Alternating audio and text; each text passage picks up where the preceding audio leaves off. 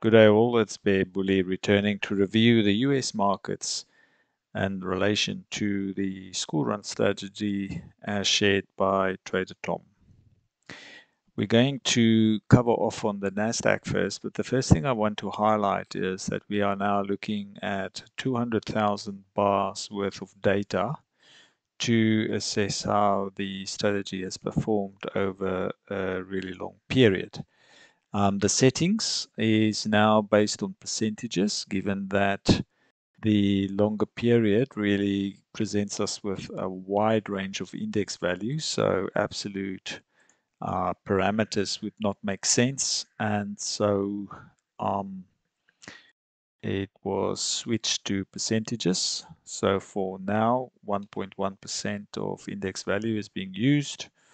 Um, for the max candle size, 0.2% for the minimum candle buffer still 7 the min percent 5% that's uh, probably it, it just says that the candle has to close 5% away from the high or the low to give it a bit of room to build momentum to break through it. Um, TP still 500 points and uh, yeah, those are the times for the market. So the way I got around the summertime problem was to change the platform's time to that market that we are trading in. So now for this set of charts, the uh, platform is set to New York time, okay? So this 9.30 is when the New York Stock Exchange opens. Um, and so that's what we're going to use. Right, uh, two lots for the risk that we're taking. Um, and so what did we get? So comparing to last time when we were testing over the shorter period, um, you can see significant reductions in the average profit per trade. Um, or let's rather say the average expected outcome per trade uh, is now $9.83 and it used to be 4080. Uh, Sharpe ratio has declined, risk reward ratio still okay at 1.34, and win rate slightly comparable. Um, well, has has deteriorated slightly, but not all that much. Um, so given the higher number of trades, obviously a higher profit. But if you consider this is now taken over roughly about eight to nine years, not not the best uh, way to spend your time or your money, but luckily this is uh, Algo doing that, so your time is not really affected. Right. Um, let's discuss what's been happening here. So we've got this really flattish performance all the way up to January 2020, and then it started to fire. Now, who can remember what happened then? This is when we started to see a lot of people, due to the lockdowns being announced, trading from home. So it seems that these day traders have been creating the liquidity and momentum for the strategy to, to be successful. Uh, and I guess what we have to say to ourselves is, that is, is how long does these market conditions persist? Um, and as long as they still persist, then um, the strategy should still work. But as more and more people return to work, is that why it's now starting to do this flatlining again? All right.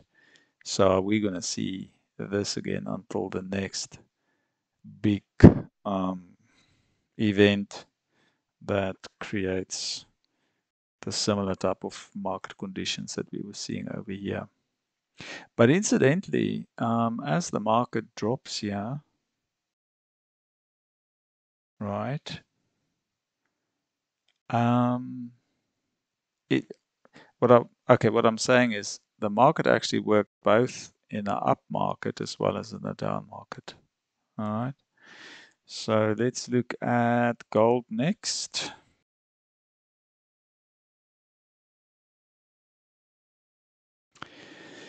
Again, 200,000 bars. Um, so with gold,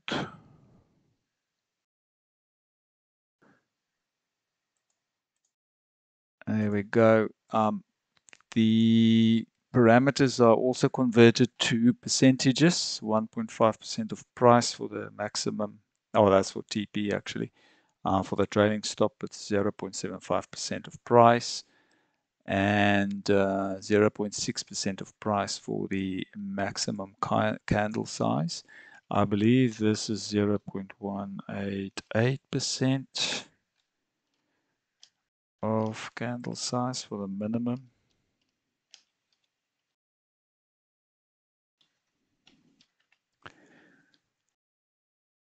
Oh, of price actually. Um,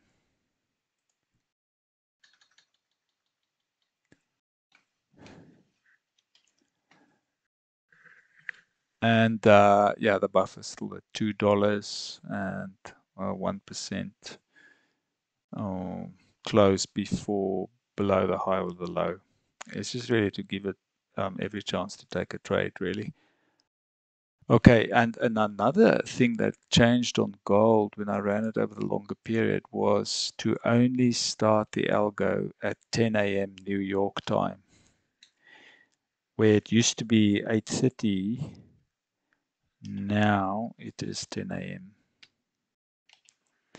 So regardless, it's not a great performance, um, but again, really good performance just from April 22 and also here March 2020 oh bit of seasonality so March to November April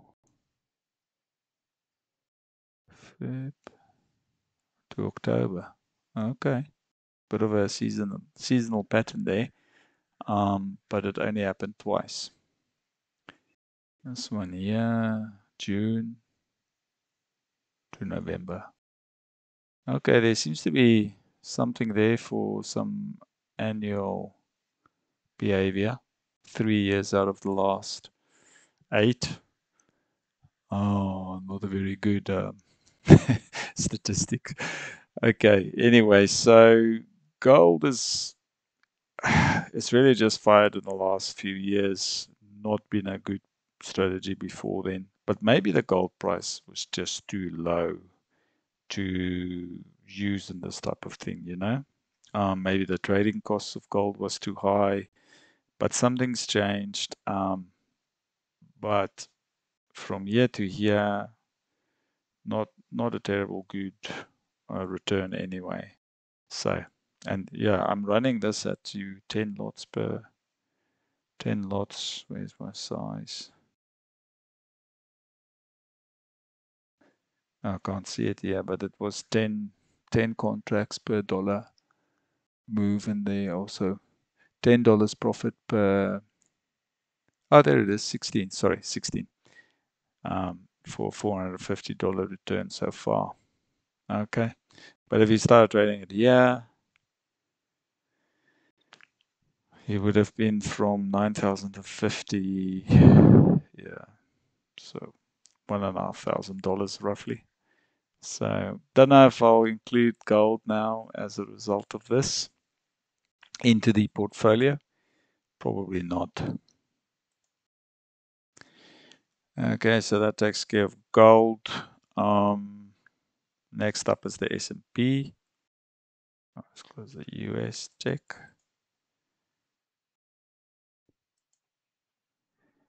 All right, so S&P, bring it to me.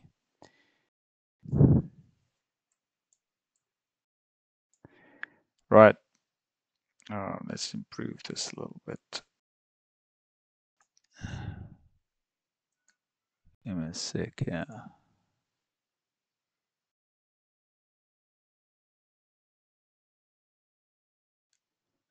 Okay. Um, so the S&P had a losing month as well, thousand dollars down. Um, settings for the S&P. I don't think I've shared it yet.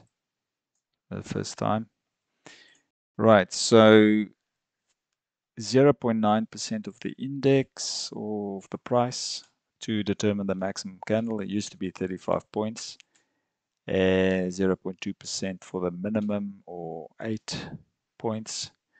Buffer of 1, 5% close from high or low to give it a bit of momentum. And, and when this doesn't, if it, if it closes too close, then all the algo does will give it another candle to do to, to give it a chance to do it in the next candle okay?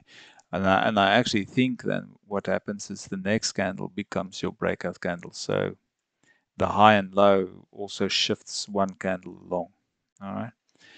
Um TP still 90 time frames 930 and trading nine lots so let's look at the stats 1.41, 1.5. That's actually still pretty consistent. However, due to this long period of nothingness, um, just creating trades, the average expect, uh, expected outcome of a trade reduced because the profit didn't really move much. Um, all the money was made in the basically in this last period um, and only $2,000 in the period before. So really pulls down that number there. Win rate still fairly positive at 44%. Um, and we shouldn't be discouraged because at the moment the market is still very much in in the in the world of people I think there's still a lot of people trading from home. Um, I think once you start, it's hard to stop. But yeah, it bears watching if this is gonna continue. Um, so it is uh, it's a bit discouraging, I must say. But I hope the um, the algo will will just perform again, and that this is just a period of um,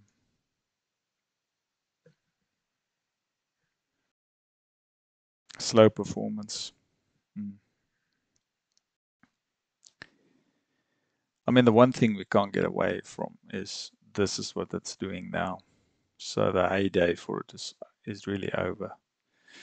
Uh, okay, so that is the S&P 500 for you, and um, I will I will basically bring the results into the portfolio as well, which will be published in, in the in the next video once I've uh, changed the platform to run the Hang Seng and the South African um, All Share Index, which is the other index I'm going to add to the mix.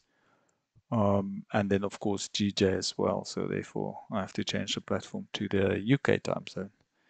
Um, all right, so I'll be back soon and then we'll discuss the rest of the results. Cheers.